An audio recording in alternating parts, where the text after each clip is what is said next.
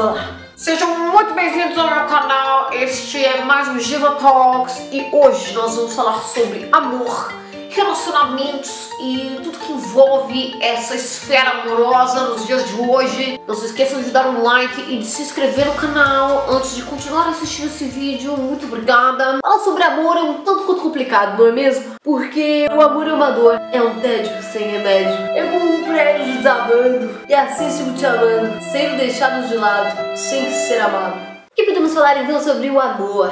Ah, ah, cara, eu não sei vocês, mas eu tenho a impressão de que os relacionamentos de hoje em dia não duram mais o tanto que duravam os relacionamentos de antigamente. E aí eu comecei a pensar bastante sobre esse assunto nos últimos tempos.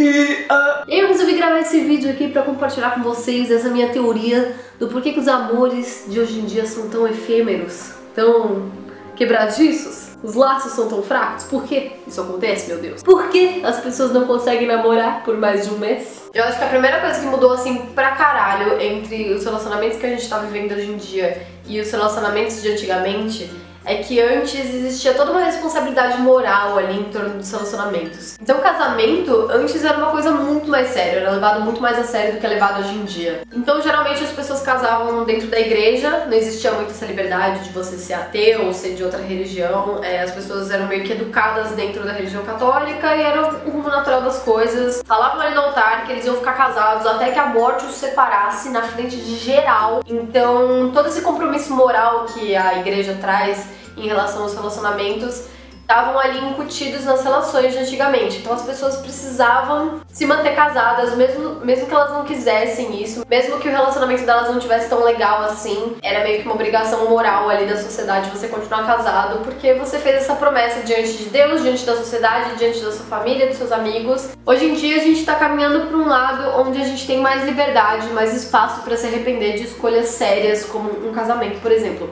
E aí tem aquela questão de que a gente cresceu numa geração globalizada, com a internet à nossa disposição, então nossos avós, nossos pais, quando tinham nossa idade, tinham uma visão muito limitada do mundo. A gente tem uma visão muito foda das coisas porque a gente tem a possibilidade de conhecer o mundo inteiro mesmo sem sair de casa, sacou? A gente tem o Google, o fucking Google nas nossas mãos. A internet deu a possibilidade da gente aprender desde fazer uma receita de bolo, se a gente quiser, até a construir um robô e viajar com esse robô para Marte. Nossos avós, quando queriam fazer uma receita de bolo, eles tinham que guardar a porra da receita num caderninho durante trocentos milhões de anos, porque senão eles não iam saber nunca mais fazer receita de bolo. Nossa geração cresceu com uma ferramenta que trazia um mundo de possibilidades pra gente. A gente podia fazer tudo que a gente quisesse, a gente podia aprender tudo que a gente quisesse aprender e conhecer tudo que a gente quisesse conhecer. E isso acabou fudendo com a nossa geração, porque acabou criando uma expectativa de que a gente poderia ser quem a gente quisesse, poderia morar no lugar que a gente quisesse, porque a gente conhecia agora todos esses lugares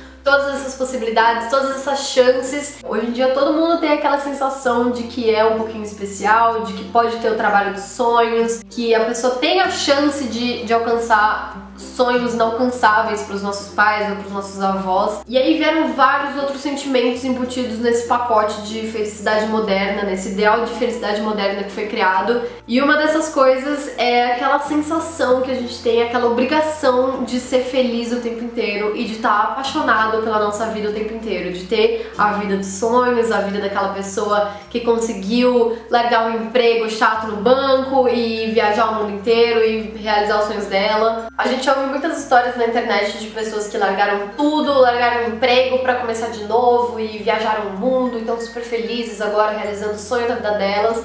E a gente fica com essa sensação de que a gente precisa fazer isso também, porque senão nossa vida não vai valer a pena, porque senão a gente vai ser só mais um vivendo ali no meio do mundo e que nada disso faz sentido se a gente não tiver sempre muito apaixonado pela vida, vivendo coisas novas, vivendo coisas empolgantes o tempo inteiro. E isso acabou se transferindo para os nossos relacionamentos também. Então a gente tem aquela sensação de que a gente precisa sempre estar apaixonado pela pessoa, senão não é amor de verdade, senão a gente tem que terminar e ir para um outro outro relacionamento, senão não tá valendo a pena. E aí é mais ou menos isso que acontece em todo relacionamento. As pessoas não têm paciência de aceitar o amor pacato, assim como as pessoas ficam em dúvida se a vida delas está valendo a pena, se elas estão vivendo uma vida pacata. Você pode ter uma vida pacata e ter uma vida feliz, você não precisa necessariamente estar viajando o mundo, nem fazendo coisas radicais, pulando de paraquedas. Você pode ser feliz de outras formas, você não tem essa obrigação de estar viajando o mundo inteiro e largando seu emprego normal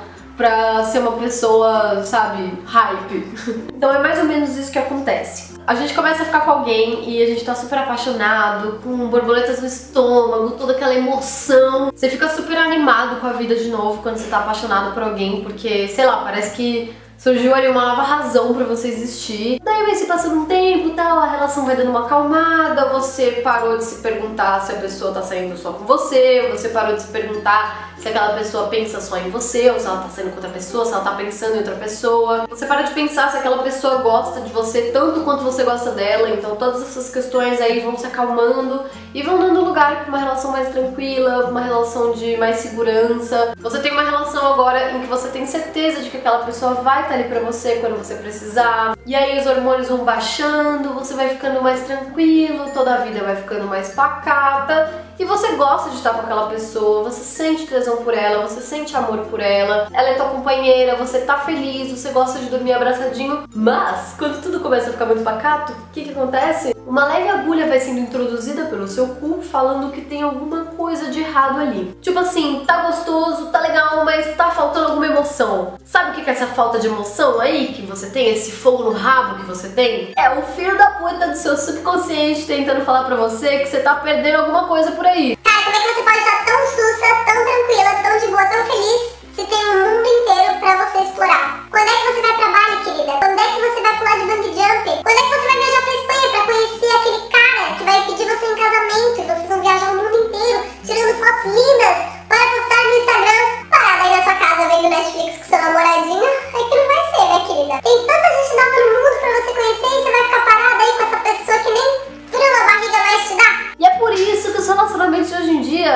Duram mais, meus amores, porque a gente fica sempre nessa ansiedade de ter alguma coisa emocionante acontecendo na nossa vida, de ter tudo que a gente não tem na nossa mão, a gente sempre tá insatisfeito, a gente sempre quer mais, mais, mais. E esse é um sentimento bom, mas ele tem que ser muito controlado e muito equilibrado para você não, não ficar deprimida com a tua vida sempre e ficar insatisfeita com a tua vida sempre. Não dá pra viver nessa ansiedade infinita de achar que tudo que você tem é uma merda e que você sempre precisa de algo melhor para você ser feliz. Essa noção gigante de mundo que a gente tem traz essa sensação horrível de que sempre vai ter alguma coisa melhor pra gente viver e que o que a gente tem na nossa mão nunca tá bom e se a gente não souber controlar isso, nós vamos ser eternos insatisfeitos, eternamente frustrados e isso não é legal. Com tanta expectativa que a gente tem hoje em dia em relação a trabalho, oportunidades de estudo, de viagem, de amizades e até mesmo do próprio namoro, a gente não quer ficar preso em uma pessoa só, a gente tem medo de, de criar esse compromisso. A gente não quer mais criar nenhum compromisso com ninguém, nenhum laço forte com ninguém, porque sempre pode surgir aí uma oportunidade nova. A gente não sabe quando ela vai surgir, se ela vai aparecer, mas a gente quer estar disponível para pegar essa oportunidade. Então, criar laços com, com alguma pessoa, laços fortes, pode impedir que a gente vá para frente dentro dessa oportunidade. Só que tudo isso pode ser muito ilusório também. Como eu disse, a gente não sabe se essa oportunidade especial e mágica vai aparecer algum dia e não criar laços com nada nem ninguém vai acabar te tornando uma pessoa meio solitária, assim, meio sem, sem companhias de verdade, sem pessoas com quem você possa contar. Então eu acho que ser livre é muito bom, é muito gostoso, mas eu acho que a gente tem que se dar a chance de criar laços fortes mesmo com, com algumas pessoas, com pessoas que a gente realmente ama, gosta, porque senão é isso, a gente vai acabar se tornando um bando de solitários, numa multidão de solitários. A gente que vive em cidade grande sente muito isso de que a gente está vivendo numa multidão de solitários mesmo. Tem muita gente em volta de nós, mas todo mundo meio que cada um por si, sabe? Cada um vivendo na sua bolha. Eu realmente vejo que existe essa sensação muito presente de que mesmo quando a gente está se relacionando com amigos ou com namorados, a gente não tem parceiros de verdade, porque a gente não tem coragem de criar laços fortes, de se entregar, de abrir nossos corações.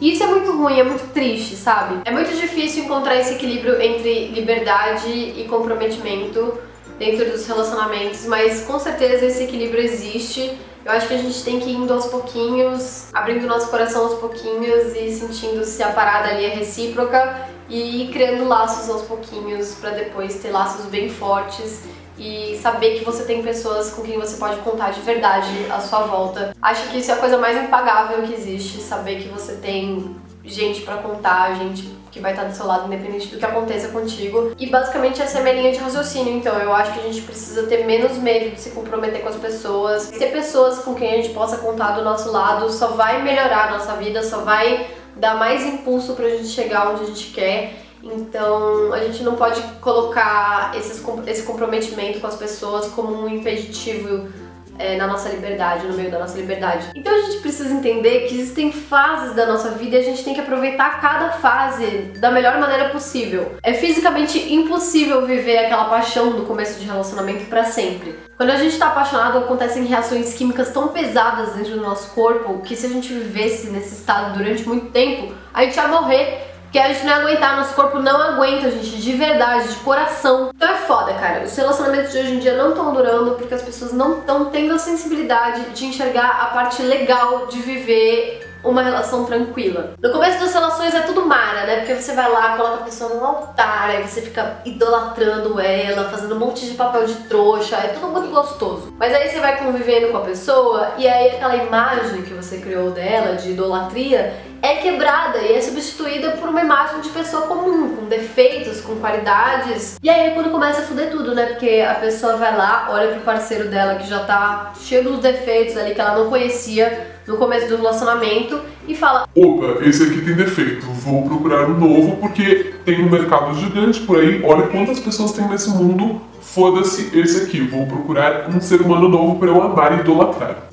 Resumindo aqui, minha dica para você que quer que seu relacionamento dure mais, que quer que os amores durem como os amores de antigamente duravam, é ter a sensibilidade de olhar para a pessoa com os defeitos e as qualidades dela e pensar que ela é um ser humano igual a você e que todas as pessoas no final das contas vão ter defeitos e qualidades. Então aquela imagem de começo de namoro sempre vai ser quebrada. E isso não é uma coisa ruim, a gente só tá vendo o lado mais humano das pessoas. E a gente tem que aproveitar cada fase do relacionamento porque todas são gostosas, a paixão, lógico, é demais, é deliciosa, mas ela só é tão especial porque ela dura um, um, curto tempo. E a relação mais tranquila também é uma delícia, porque você tem tranquilidade, tem paz, coisa que a gente tem pouquíssimo hoje em dia. A gente tem confiança, lealdade, companheirismo, isso também é uma delícia. Então, quando você sentir aquela sensação de tipo, ai meu Deus, eu preciso de alguma emoção na minha vida, eu preciso de alguém novo porque esse aqui não tá mais me dando frio na barriga, cara, sossega a porra do seu cu. Tipo assim, se você sente tudo de bom pela pessoa, ama essa pessoa, sente tesão pela pessoa, quer estar com essa pessoa,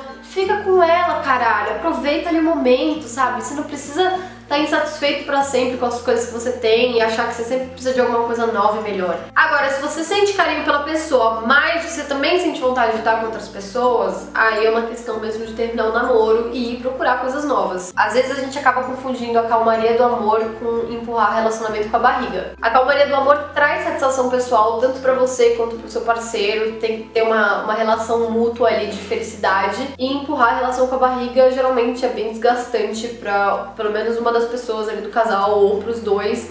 Então é importante analisar aí em que lado você está. Permanecer num relacionamento por puro costume ou porque você tem pena de terminar com a pessoa é a pior merda que você pode fazer na sua vida. Não sei se deu muito pra entender, não sei se eu consegui fechar muito bem aqui o assunto, se eu consegui criar conexão entre as coisas que eu falei nesse vídeo, mas enfim, foi um vídeo de filosofia, entendeu? Então é tudo meio jogado assim no ar, tudo meio louco, tudo meio confuso. Mas eu espero que vocês tenham gostado. Se vocês gostaram desse tipo de vídeo, me conta aqui nos comentários e deem sugestões de temas que eu possa abordar. Se inscrevam aqui no canal, não esqueçam de dar like no vídeo. Um beijo no coração de vocês e é nóis que tá! Uh!